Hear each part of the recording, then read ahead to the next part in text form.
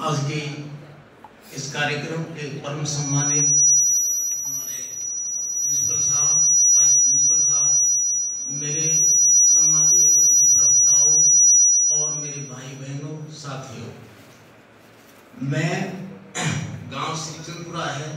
वैसे मैं विगत 20-22 साल से यहाँ राजगढ़, टहला बाईपास पर ही मकान बना के रह रहा हूँ।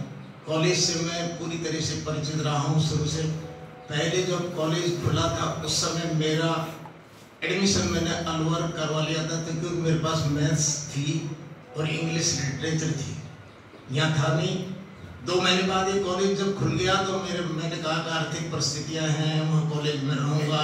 इसलिए मैंने आर्ट्स वापस ले करके मैंने मेरा मैथ्स भी छोड़ दिया, क्योंकि मैथ्स में मैं टैलेंट रहा हूँ।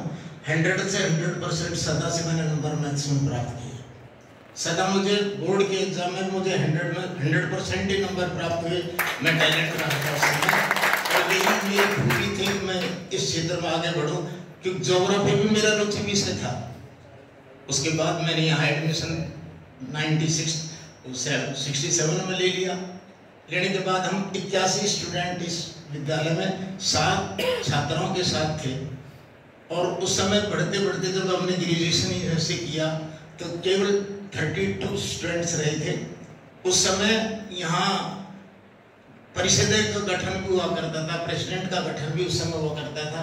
तो मुझे, मैं क्यों चाहता था? जोग्राफी मेरा प्रिय विषय रहा है शुरू से।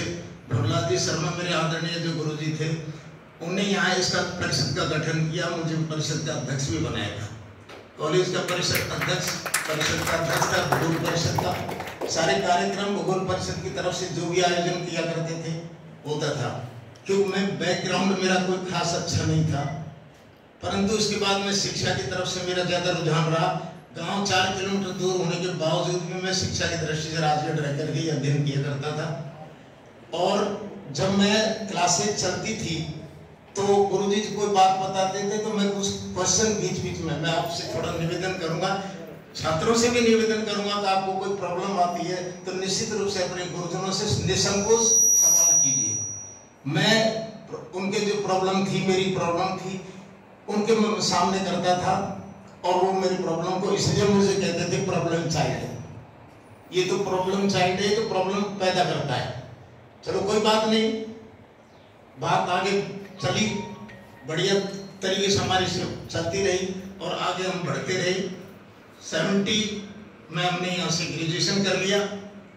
ग्रेजुएशन करने के बाद मैं चूँकि जोग्राफी विषय था जोग्राफी विषय से यहाँ था अजमेर डी कॉलेज में मैंने एडमिशन ले लिया और वहाँ दो साल में, दो साल सेवेंटी टू में मैंने ग्रेजुएशन वो पोस्ट ग्रेजुएशन किया, लगभग first class nine sixty percent first class से हमने किया।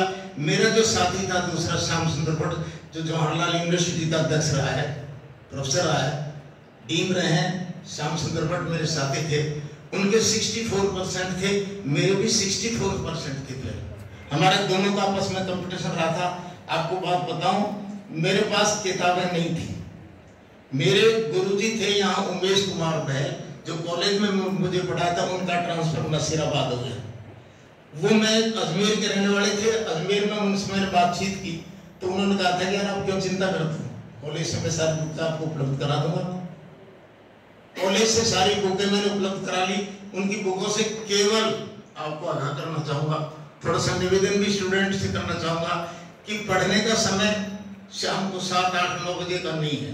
मैं नहीं पढ़ता था, क्योंकि वहाँ डिस्टर्बेंस ज़्यादा होते थे। मैं रात को बारह बजे खड़ा हुआ। बारह बजे से सुबह पाँच बजे तक स्टार्ट करता रहा और कॉलेज लाइब्रेरी में जा करके अपनी पूरी तैयारी करता और नोट्स तैयार करता। नोट्स तैयार करने के बाद श्याम सुंदर जी